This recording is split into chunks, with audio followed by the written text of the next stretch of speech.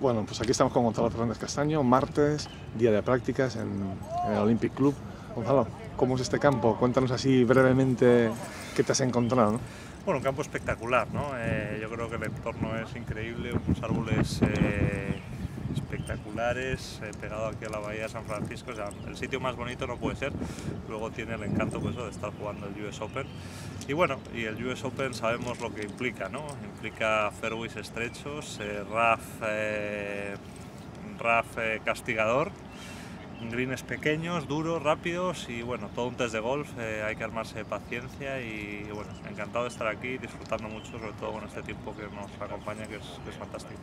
Oye, ¿qué campo a ver, en, en, Madrid, en la Comunidad de Madrid, no tenemos campos como, preparados como los de US Open, pero ¿hay algún campo especialmente difícil que tú destacarías de, de Madrid?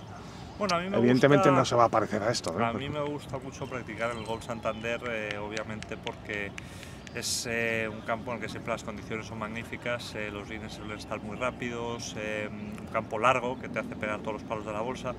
Y bueno, a pesar de que, de que es un campo que no, que no tiene RAF y que las calles son por lo general generosas, yo creo que es eh, probablemente el, el, que mejor es o el que más se asimila a un campo de competición hoy en día. Y bueno, yo desde luego voy siempre a, practicar ahí, son eh, Stanis Urquijo, su director, es, siempre muy amable con, no solo conmigo sino con todos los profesionales. Y, y bueno, la verdad es que es un, es un placer poder, poder disfrutar de sus instalaciones. Oye, para ir acabando, el, en el Open de España me acuerdo que hablaba contigo y me dijiste, no estoy bien de juego, no te creí, no te creí, pero luego se demostró que tenías bastante razón. A ver, esta vez prometo creerte. ¿Cómo estás, Gonzalo? ¿Cómo llegas aquí? ¿Cómo le estás pegando a la bola? Etcétera? Estoy mejor, estoy mejor que cuando nos vimos en el Open de España.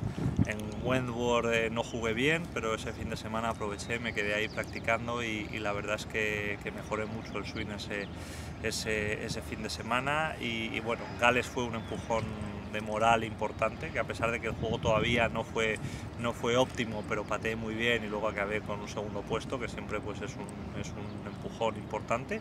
Y bueno, la verdad es que este, esta semana llegó a Mariano Bartolomé en la bolsa eh, y bueno, me está ayudando con el swing y ojalá, y ojalá el resultado pueda ser bueno. Desde luego lo estoy pegando mejor, eh, el campo me gusta, estoy disfrutando y que al final es de lo que se trata, ¿no? Una semana de Major pues tienes que, tienes que dosificar muy bien y, y sobre todo tienes que venir a divertirte intentar hacerlo lo mejor posible. Muchas gracias, Gonzalo. Gracias.